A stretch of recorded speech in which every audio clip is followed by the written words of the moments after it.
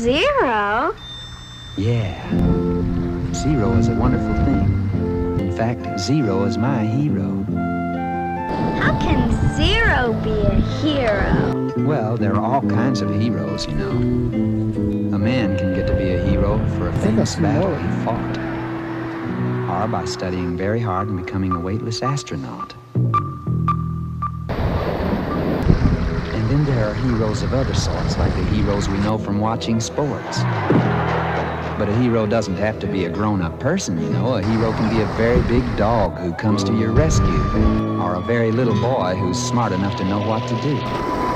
But let me tell you about my favorite hero. My hero, Zero.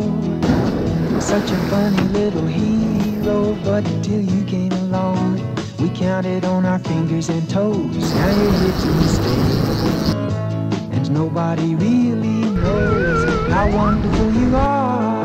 Why we could never reach a star without you, Zero, my hero. How wonderful you are. What's so wonderful about a zero? It's nothing, isn't it? Sure, it represents nothing alone. Put place a zero after one, and you've got yourself a ten. That is. When you run out of digits, you can start all over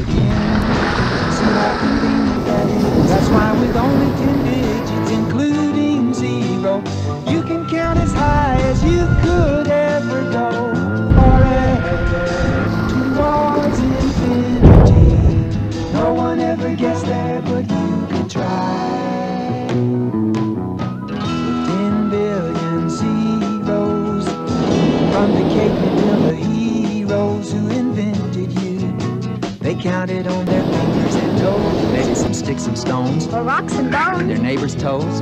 You hear, and nobody really knows how wonderful you are. Why we could never reach the star without you, Zero, my hero. Zero, how wonderful you are. Place one zero after any number, and you've multiplied that number by ten. Easy that is. Place two zeros after any number, and you've multiplied that number by 100. See how simple that is. Place three zeros after any number, and you've multiplied that number by 1,000, etc., etc. Ad infinitum, ad astra, forever and ever.